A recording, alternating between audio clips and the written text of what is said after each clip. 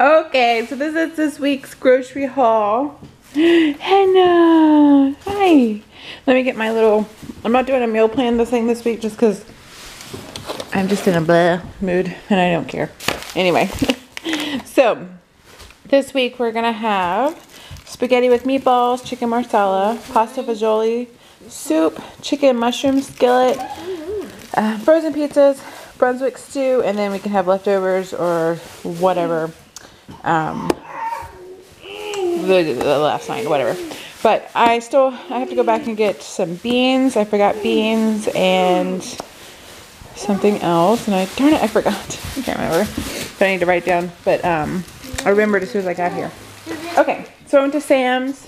We got this box of chips, which usually lasts us about three weeks now because we got a variety of stuff, so it lasts us a while. what are you doing, Hannah? Okay, Sam's was $45. So got the chips, um, these mushrooms for two of the meals, and then we can put it in spaghetti and the pasta fagioli and stuff like that. Wait a second!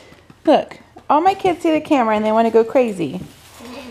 All right, we got these um, s'mores graham crackers. OMG, like I had to.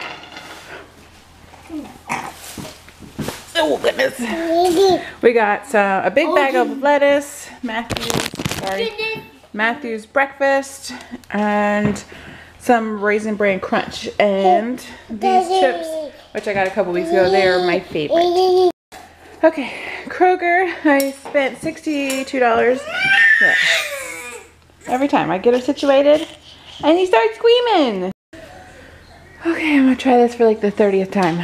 anyway, so Kroger, 60 something dollars, can't remember, but we got some ground um, chicken, some chicken thighs, spaghetti sauce, peanut butter, heavy cream, um, four pizzas, the angel hair and spaghetti.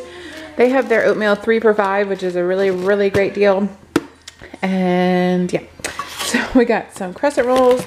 I'm gonna make um, this apple dessert that I really like to do. It's really easy. It's just take croissant rolls and you, um, well, maybe I could do a little short video on it. It's really easy. I think I have a really old one, but it's really crappy footage. But um, it's just croissant, cream cheese, and apples and cinnamon sugar, and you just bake it. It's really, really good.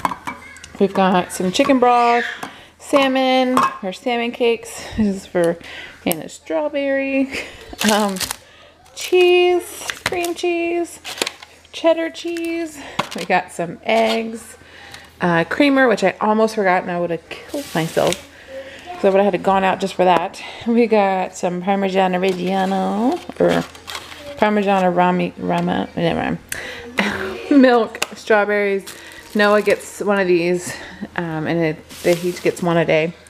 Um, tangerines, or cuties, or whatever. I'm kicking myself in the butt because the cuties, the actual real cutie ones, they're were like seven some dollars for oh, about this size at Kroger, but then at Sam's, you could have gotten like double that for the same price. So I almost got them and I don't know why I didn't.